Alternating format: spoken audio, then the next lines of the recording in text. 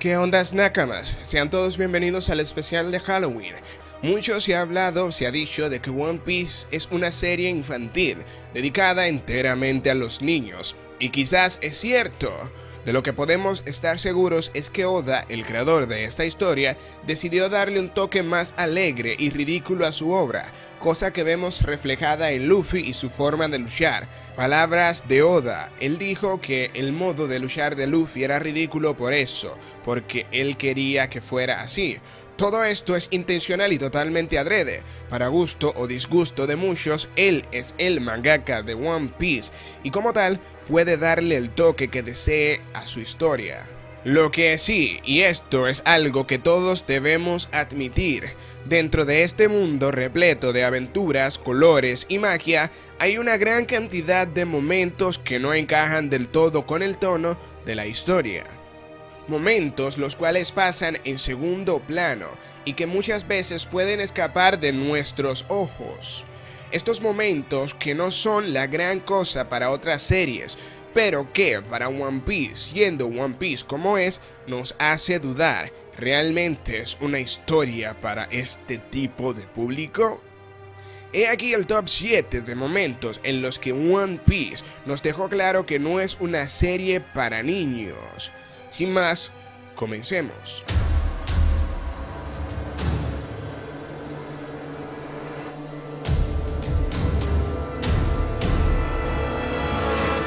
Para abrir las puertas de este top tenemos, en vez de un momento, dos Akuma no Mi y todo el trasfondo que estas dos tienen. Hablo de la Hobby Hobby no Mi de Sugar y la Horu Horu no Mi de Emporio y Bangkok. Empecemos con la Hobby Hobby no Mi de Sugar. Esta fruta permite que su usuaria transforme a todo aquel que toque en un juguete, en el juguete que ella desee. Esto podría no ser la gran cosa si no borrara la existencia de esa persona convertida en juguete de la mente de todo conocido, de todo amigo, de todo ser querido para este. Imagínate ver cómo todos aquellos a los que amaste hacen su vida como si nunca hubieses existido. Y luego tenemos la Horu Horunomi de Emporio Ivankok, la cual entre todas las habilidades que ofrece, permite al usuario transformar, o mejor dicho, cambiar el sexo de aquel al que el usuario desee. Para los que gusten y quieran, esto está bien. Lo malo sería para todo aquel que no lo desee. Vivir dentro de un cuerpo ajeno podría significar el fin de la vida para cualquiera, aparte de que serías irreconocible para cualquier persona que hubieses conocido con anterioridad, ignorado durante toda tu vida. Sin duda, dos frutas muy terroríficas.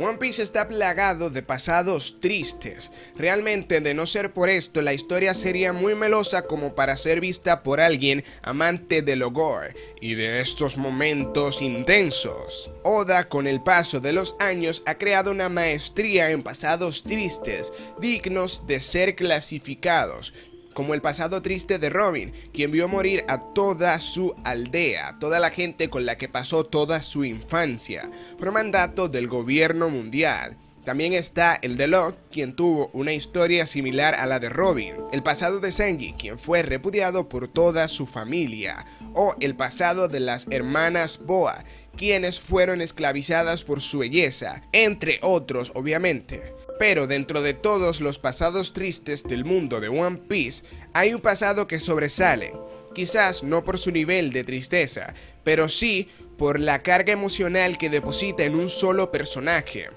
Usuario de la Ito Itonomi, Chopper es un reno el cual fue repudiado por su propia especie y por los humanos. Solo un hombre lo acogió y lo guió por el buen camino. Como dije, pasados tristes hay muchos, y en todos, ya sea en menor o mayor medida, los protagonistas de estos pasados tienen que ver morir a sus seres queridos, pero siempre por culpa de un tercero. Por ser Chopper quien provocó la muerte del Dr. Hirulu, se lleva el puesto en este top.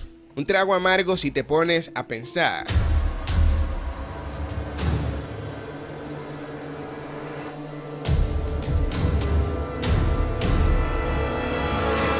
Otra vez me toca hablar de dos frutas del diablo, las cuales por partida doble se ganan un puesto por pura fuerza.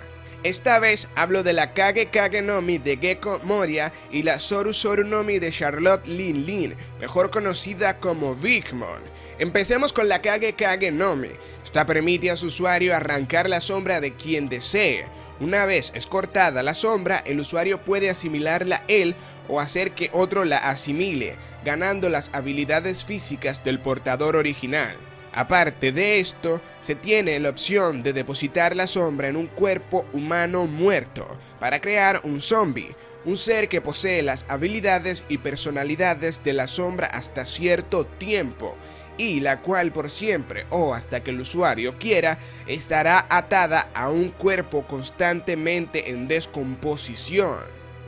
Aparte de eso, tenemos a aquel al cual se le fue arrancada la sombra, el cual estará condenado de por vida a vivir huyendo del sol, pues si llega a darse el caso de ser golpeado por los rayos de este, tendrá la muerte más desagradable de todo One Piece. Se desintegrará hasta volverse polvo al viento. Por otra parte tenemos la Soru Soru Nomi, con una función muy similar a la Kage Kage Nomi. Esta fruta otorga el control total sobre las almas, lo que es igual a robar la esperanza de vida de su víctima. Aparte de animar cualquier objeto sin importar su procedencia, uso o aplicación, obligar por medio del miedo a sus víctimas para poder robar la esperanza de vida, aparte de entregar voluntariamente parte de tu vida con el único objetivo de vivir en un país, aparte de todo esto, lo más mortificante que tiene esta fruta y su usuario en particular es que mucha de la esperanza de vida va a parar en el estómago de cualquier invitado que voluntariamente ingiera cualquier alimento que haya sido convertido en un homie. Y claro, viendo que la Yonko ha nombrado a esto como su platillo favorito, nos queda claro que es capaz de matar personas con el objetivo de degustar su esperanza de vida.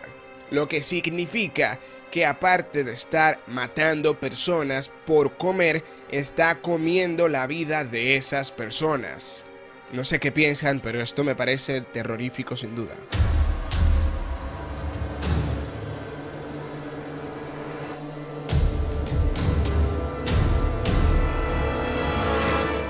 Para el siguiente puesto en este top tenemos todo un arco, el cual para mí es el más perturbador, superando por mucho Whole Cake y Rosa. Hablo del arco de Impel Down, obviamente. Este está basado en la Divina Comedia de Dante y es obvio que no tendríamos algo muy bonito de ver. Impel Down es una prisión subterránea, donde la tortura es el pan de cada día y esto es visto en las personalidades y actitudes de aquellos que deberían de vigilar a los destillados piratas que caigan en las fauces de este monstruo prisión. Consta de siete niveles, de los cuales uno es creado como un país fuera del sistema, llamado New Kamalan, ubicado justamente entre el 5 y el sexto nivel, llamado 5.5 Aquí es donde conocemos por primera vez a Emporio Ivankov, usuaria de la Horu Horu Nomi, una de las cuatro frutas más terroríficas de todo One Piece. Aparte tenemos otro con el objetivo de borrar la existencia de la faz de la Tierra, de esos piratas cuyos crímenes fueron lo suficientemente atroces y los cuales nunca serán perdonados. Este es el piso número 6, oculto del conocimiento de gran parte del mundo, inclusive de gran parte de todos los que trabajan en esta misma prisión. Es en este nivel, en el nivel número 6, donde Kurohige obliga a los presos a matarse los unos contra los otros, solo para ganar su libertad. Aparte de eso, tenemos los cinco primeros niveles, los cuales son temáticos y cuyo único fin es el de torturar, torturar y torturar. Primero tenemos el llamado como el infierno carmesí, donde los prisioneros son obligados a correr por el césped afilado como cuchillas y repleto de arañas venenosas, razón por la que todo el lugar está rojo, por la sangre de sus víctimas. El segundo, llamado el infierno de las bestias. Es aquí donde hay varias bestias las cuales devoran a todo aquel que esté fuera de su celda. El tercer nivel es llamado como el infierno desértico. Los prisioneros de este reciben pocos alimentos y agua, razón por la cual siempre están débiles y casi muertos. Y por si no lo saben, no hay arena en este nivel, es solo que muchos presos mueren y sus huesos quedan tan tan secos que se vuelven polvo. Esa es la ambientación de todo el nivel. En el nivel número 4 llamado el infierno ardiente, hay un gran estanque de sangre hirviendo. El calor es tan extremadamente fuerte que puede calentar todo el nivel superior, por lo que es un nivel de tortura extrema. Y por último tenemos al infierno congelante, ubicado en el nivel número 5, el cual como su nombre lo indica es un lugar con un frío extremo, donde los prisioneros mueren congelados. Aparte de que está habitado por lobos, bestias que fueron demasiado feroces para el nivel número 2, ya que también devoraban a las demás bestias aliadas. Un lugar donde no quisieras estar ni un rato y donde el dolor humano se puede sentir a flor de piel.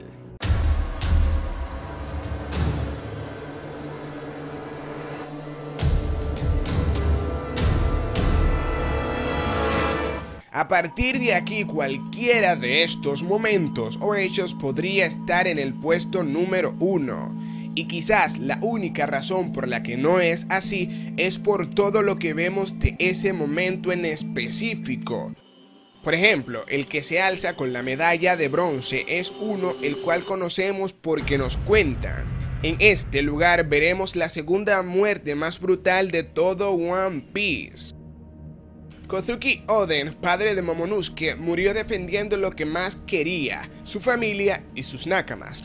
Fue cocinado en sopa delante de todos los que él amaba, por parte de los piratas bestias y su capitán el Yonko Kaido, aliado con el actual shogun de Wano. Esta muerte se sale de todos los estándares establecidos por Oda. Puesto número 3.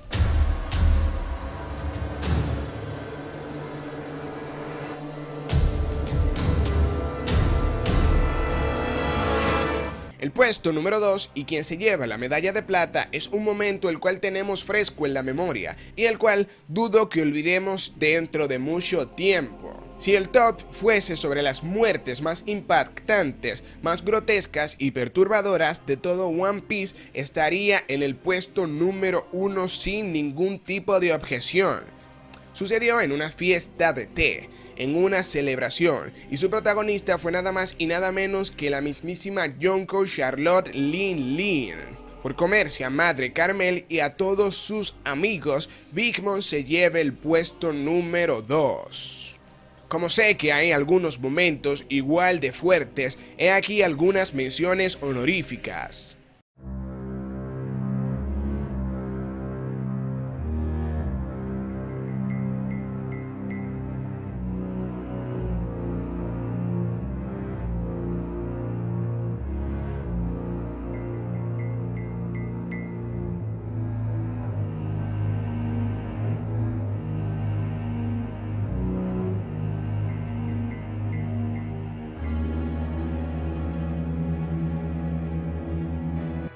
El momento que se alza con la medalla de oro de este top gana por dos razones.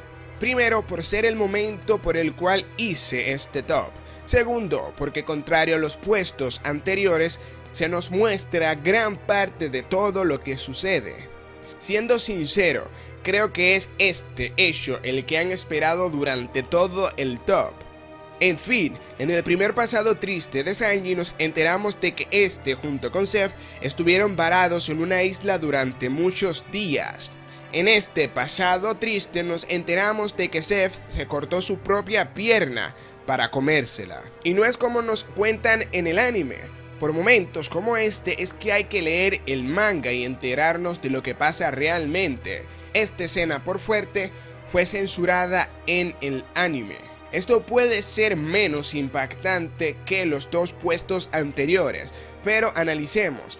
Aparte de que vemos como él tomó una piedra y procede a cortarse su pie, cosa que no sucede en los puestos anteriores, tenemos la confirmación de que él, como medida desesperada en pleno uso de sus facultades, devoró su propia pierna, no la de alguien más, sino su propia pierna personal, la cual primero procedió a cortar, pese al dolor que esto podría provocarle tienes que llegar a un nivel de desesperación muy alto para tan siquiera considerarlo.